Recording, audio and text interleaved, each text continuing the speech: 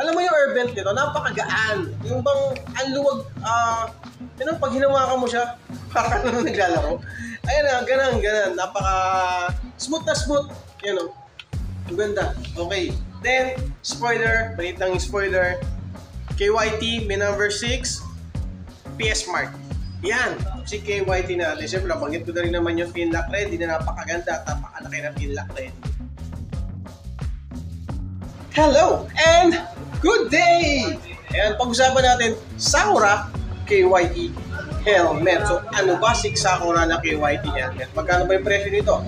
Mga kaibigan, medyo may kamahalan ng konti ang presyo ni Sakura na KYT. Ito yung tinatawag natin na NFR. So, ito, hawak ko. Yan, si Sakura. So, ito, Nerds. Clear lens, pin lock ready, dual visor. Yan.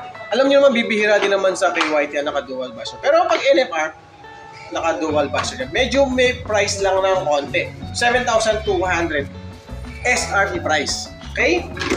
Check natin. Yung kanya air vent, yan.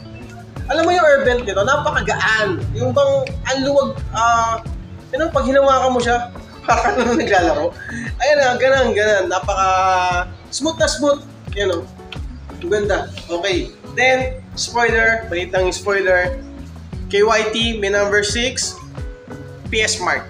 Yan, si KYT natin. Siyempre, nabanggit ko na rin naman yung Finlock Red. Hindi na napakaganda at napakalaki na Finlock Red nila. Hop! Tignan natin yung lining. Double D-ring. Oh. Pinaka-paborito ko talaga sa lahat. Ng helmet, yung naka-double D-ring. Kasi, mas safe or pinaka-safe talaga ang naka-double D-ring. Okay? And then, yung lining. Yan o. Siyempre, meron siyang SOS o yung emergency strap o emergency full. So, kapag nagkaroon ng problema, nagkaroon ng aksidente, pag tinang hinilang mo to, hola, tanggal agad yung foam. Yung, ganun lang. Tanggal agad yung foam niya. And then yung loob, yan.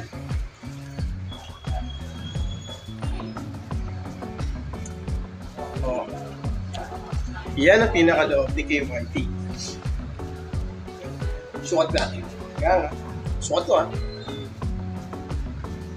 Ah!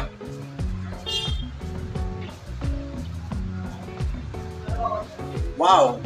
Sarap. Ang ganda ng fitting sa loob. Size ko, 58, large to. Tama-tama yung sa akin, yung PT ng large. Pero, nagbabonnet pa ako kasi gusto ko lagi pag nag-helmet. Meron akong bonnet para may protection din yung ulo ko, may protection din yung aking foam para hindi masyadong madaling bumako. Okay? So yun lang mga kaibigan. Napakasimple lang ang pinag-usapan natin tung sa NFR na KYT Sakura Edition.